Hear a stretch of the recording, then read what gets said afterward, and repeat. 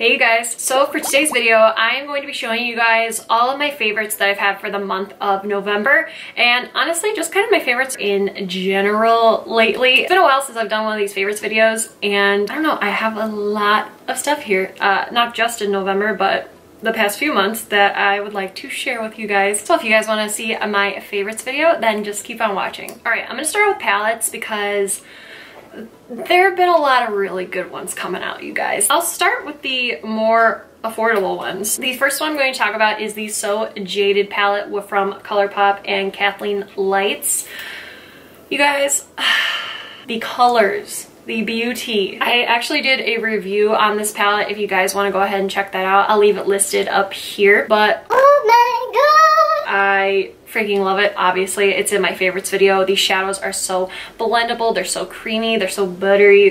They're so beautiful and they are so freaking affordable. I love ColourPop shadows for that reason. And Kathleen Lights just did such an amazing job with this. The colors are perfection. Next eyeshadow palette I'm about to talk about is the Hip Dot X SpongeBob collaboration. I freaking love this eyeshadow palette, you guys. This mirror is incredible. The detailing is beautiful. Again, I also have a review on this as well. If you guys want to go ahead and check that out, I'll have that listed up here as well. Long story short, you guys, I freaking love this. I think it's incredible. I love Hip Dot shadows. I think that they are so blendable. They're so pigmented. They're so buttery. They're just, oh, I freaking love them. And they're also a much more affordable brand. I honestly thought this was going to be a gimmick. I truly did. I really didn't know a lot about the brand going in. I had just heard that there was a SpongeBob collaboration. I was all in. And out of everything, this was definitely my favorite. I love this palette, you guys. I'm a huge SpongeBob nerd, so had to include it. All right, now on to pricier palettes, just a little bit. The next one we're gonna talk about is the Pur Cosmetics Festival palette. You guys, Pur eyeshadows, I don't know why more people don't talk about them because their eyeshadows are freaking incredible, especially their glittery or shimmery ones holy when I say pigmented, like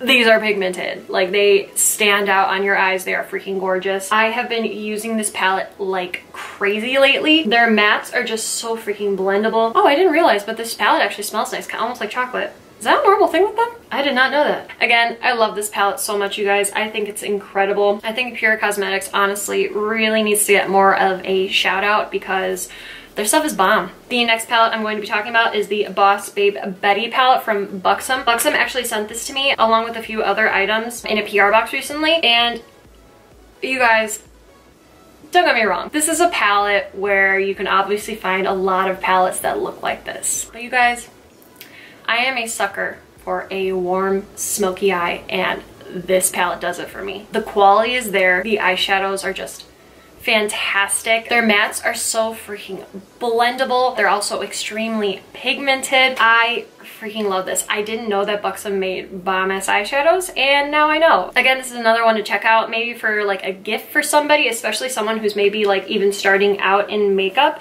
I think this would be a lot of fun for them. There's a great selection in here. There's a lot of shimmers and these colors aren't too scary to dive into. So I think this would be great for someone starting out. The last palette I have to talk about is the palette that is actually on my eyes right now. And yes, I have only used this once, but you know what? God damn it, I'm gonna include it in here because it's so freaking bomb. It is the Jeffree Star and Shane Dawson Conspiracy Palette. You guys, it's got clasps. That's bomb. Look at these shadows. They're freaking gorgeous. I am actually doing a review on this as well. That is going to be posted soon. I don't know if I'm going to have this video up or that video up first. I'm not sure, but you guys will see how I feel about it in there as well. If you guys want, I'll go ahead and leave it listed up here. I love Shane so much, you guys. I have been watching him since I was 11 years old. I have stuck with him through his good times and his bad times, and he is someone that has a very special place in my heart. So I had to go and include this in here. And not just that, but the palette itself is actually amazing. It is incredible, I will say. The design on here too is just so different and so fun. I can't believe Andrew just like came up with this on Photoshop because it's such a smart idea and it just looks incredible. So yeah, I was incredibly proud of Shane. I love Shane. I don't know him personally, but if I did, I'm sure I'd still love him. All right, digging into makeup. I got a few lips here that I'm gonna talk about. So starting with lipsticks. Like I said before, Buxom sent me a PR package recently and I had never tried Buxom lipsticks before and you guys, their lipsticks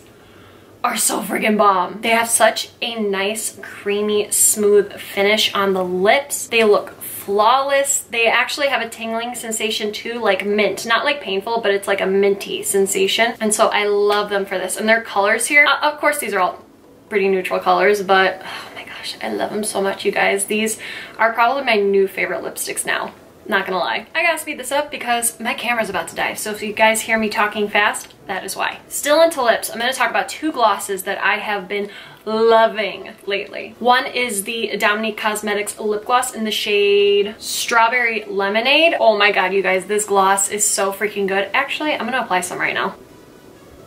Mm -hmm. Oh my god, I love these. They're so freaking good. They just make your lips look so plump and juicy and I love the feel of them. They're not sticky at all. They feel more like an oil than anything and I love glosses like that. They are my all-time favorite glosses and this one I just wanted to give a huge shout out to. I have been using it non-stop like all summer. This is literally the gloss I've been hitting in my purse for everyday use. The next gloss I'm going to talk about, I have the little mini. It is the Buxom Lip Gloss in the shade Dolly. I freaking love this color. I think it's so pretty. It's like a perfect mauve pink, but it's a little more pink than mauve. It's got like a hint of mauve in it, but it's such a perfect everyday gloss. It's like a Your Lips But Better gloss. If you guys watch my channel, you guys know Buxom lip glosses are my favorite lip glosses of all time. They have an amazing minty feel to them, and this one is no different. They're so shiny. They make your lips look so plump and juicy, which I love. And with this color, I've been dying over it lately. I am shocked no one on YouTube has mentioned this color. I just kind of saw it at Ulta and I decided to grab it. This is the Morphe liquid lipstick in the shade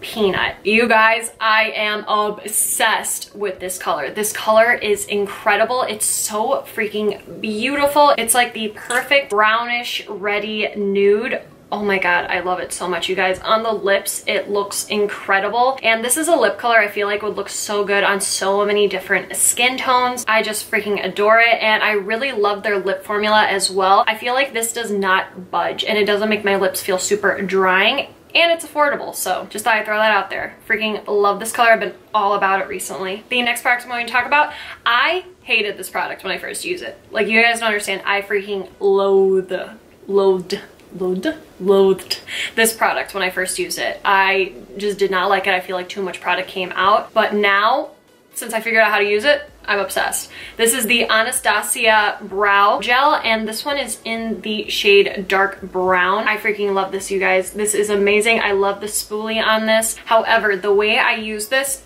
I literally get rid of the majority of the product. I just put it over the edge here. And once I've gotten rid of most of the product, it gives me the application I want. And this is a product I feel like I can just do this. I don't have to do anything else to my brows and then I'm out the door. Like that's it. This is all I need. I love products like this for when I'm in a rush and just gotta go somewhere and I still need my brows to look snatched. I have been using this and I love it. The last makeup product I'm about to talk about is the CoverGirl Lash Blast Volume Mascara. I recently went back into CoverGirl because CoverGirl is now currently cruelty free, which I am so excited about. This mascara is a great mascara for days where you don't want that extremely dramatic looking lash. This is like a Your Lashes but better mascara. It just makes your lashes look so lengthy and healthy, if that makes sense. And that's something I really love about this for like a day-to-day -day mascara. This has been my go-to. A scent I've been obsessed with is the Viktor and Rolf Bon Bon perfume.